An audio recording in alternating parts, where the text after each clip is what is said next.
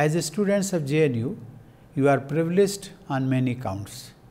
You are part of one of the most diverse and vibrant intellectual communities with highly accomplished students and faculty. The university has produced many eminent personalities and has been guided by some of the greatest minds. One of my distinguished predecessors, Sri K. R. Narayanan, had served as Vice Chancellor of this university. It must be a matter of pride for students of the university that India's Finance Minister, Srimati Nirmala Sitharaman, and Minister of External Affairs, Dr. S. Jaishankar, are former students of JNU.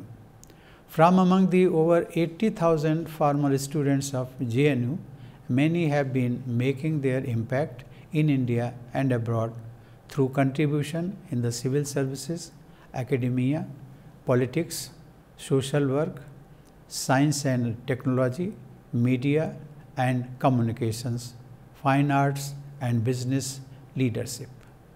In addition to benefiting from the rich intellectual legacy of the university, the students have the delight of living and studying in one of the most beautiful campuses built on the outcrop of the Aravalli range.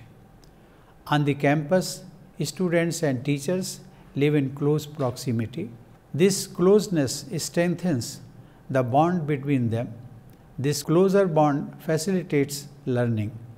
Excellent faculty of the university have been encouraging free debate and respect for difference in opinions students are treated as partners in learning, which is how it should be in higher education.